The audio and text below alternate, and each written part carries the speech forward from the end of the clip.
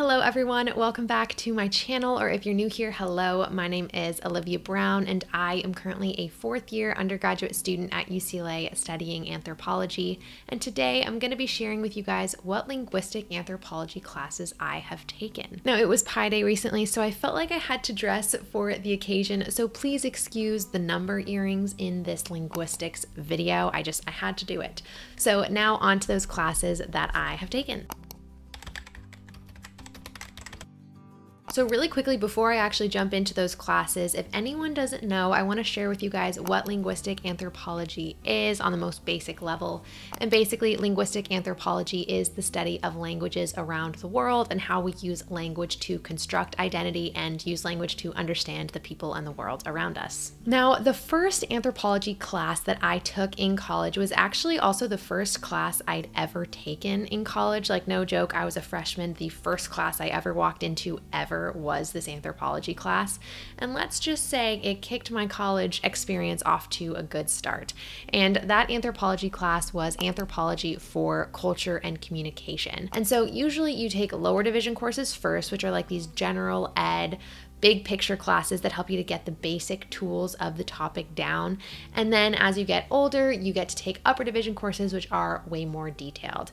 Now, this first class is the lower division linguistic anthropology class that gives you all the nuts and bolts that you need to know for understanding linguistic anthropology in a deeper way later on. Now, in this class, there is a lot of reading, a lot of essay writing. On this channel before, I've talked about some of the books that we read for this course, including Articulate While Black and Racio linguistics, but I'm not going to get into that now. Now, one of the biggest things that I would imagine that you're going to be studying in this introductory linguistic anthropology class at any university, not just at my university, is this idea of ontology, which is basically what makes language what it is, understanding why we speak the way we speak, how we speak the way we speak, how it's different depending on what culture you live in, and all these other things.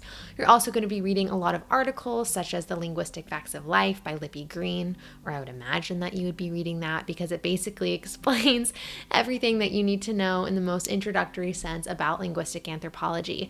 Now, if you want to learn more about linguistic anthropology and not just the classes that I've taken, I have done some other videos on that. The one being most helpful to you guys is actually going to be what is linguistic anthropology, and I will have that linked right here if you want to go check that out so you can kind of understand exactly what I'm throwing at you. Now, the next class that I took for linguistic anthropology is called Anthropology 159 Hip Hop, Race, and Social Justice from South Central to South Africa. Now, this class was so stinking cool. And I took it actually because it was taught by the same professor that taught that Anthropology 4 class that I just talked to you guys about. And he is so great. And imagine your career, literally what you do, what you get paid for is studying hip hop and language used in hip hop. That is so Cool, so of course I couldn't resist the opportunity to take this class. Now, this course was basically an examination of hip hop and hip hop music around the world, but more specifically in South Africa. Something that I really did like about this class was we actually watched a lot of films rather than read a lot of texts, which I do feel is a common theme for anthropology classes.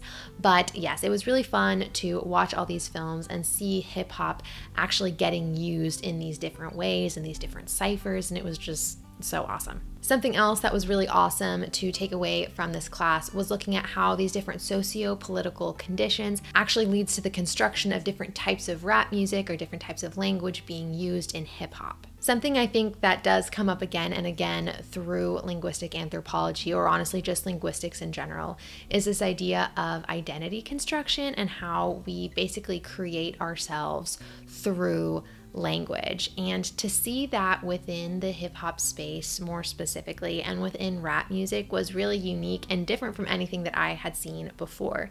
Because these ideas like race, like masculinity, they all get constructed in different ways when you're just speaking to someone versus rapping about it. And it allows you to identify with these different classes or different groups of people and to get to look at this in a really deep and analytical way was such an amazing experience. Now, this class I actually did take during the heat of the pandemic and lockdown, right when everything really started. So to have something interesting to do and listen and watch was really enjoyable. Now, I don't think I said this earlier in the video, but I am actually a biological anthropology student. So I have taken a ton of biological anthropology courses, like a ton and less courses in these other areas the archaeology, linguistics, and cultural classes. And so I've actually technically only taken those two linguistic anthropology classes, but because I didn't think that was enough, I want to just read off some of the classes that are listed on the UCLA registrar so you guys can get a good idea of what other linguistic anthropology classes could be available to you in the college space because I think they're pretty awesome. And since I only have four years, I didn't get to do all of them, but some of those are ethnography of everyday speech, gender and language in society, and Native American languages and their speakers. Now, if you guys want to see more, I'm going to leave the UCLA Registrar's Office, their link in the description box down below. If you just click on that and then click on Upper Division courses and scroll down to the 150s, those are going to be all the linguistic anthropology classes. But you guys can see these for every university, but sometimes it is a little complicated to know like which numbers are connected to which type of class. So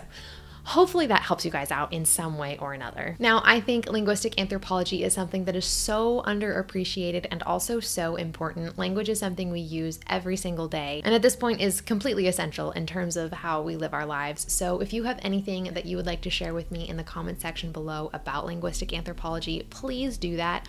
Also, book recommendations, anything. I love talking to everybody down there. So do let me know, and I will leave some other links to my other videos on linguistic anthropology either here or in the comment section or the description box, that down below. So, yeah, I hope you guys are all having a fantastic Sunday and a happy start to spring. How exciting is that? And I will see everybody next Sunday. All right, you guys. Bye.